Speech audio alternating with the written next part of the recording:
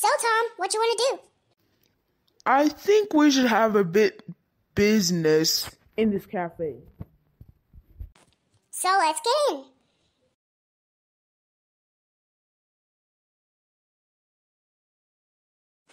So, what kind of business do you want to talk about? I want to talk about school. I mean, we've been missing school for the past two years, and the teacher says if we don't go to school early, we're gonna fail. Know what happens? Mom will give us a spanking. The reason why I don't want to go to school is because of that bully. He's so strong. He once beat me up. Try recording a flashback. My phone is only for calling, not recording. Let me see my phone. Wait, I'm already getting a call from my phone. Hi, this is Nikki speaking. Oh, hi, Tick. What's wrong? Okay. Okay. Okay. We're coming. Bye.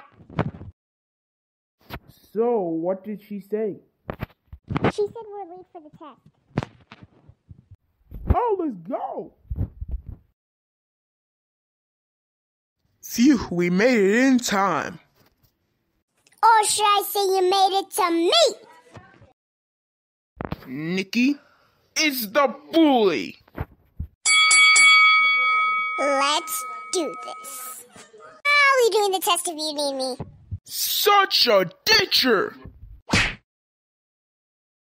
Oh! Now down. Now it's time for me to start beating you up.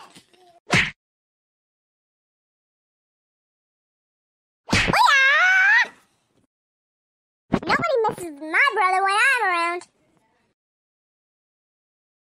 I feel great again. Such a baby.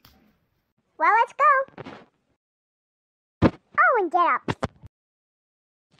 I'll get you guys next time. Put your hands up. Oh, oh, would you look at that? It's the Deadpool baby. Oh well, it's the mental baby.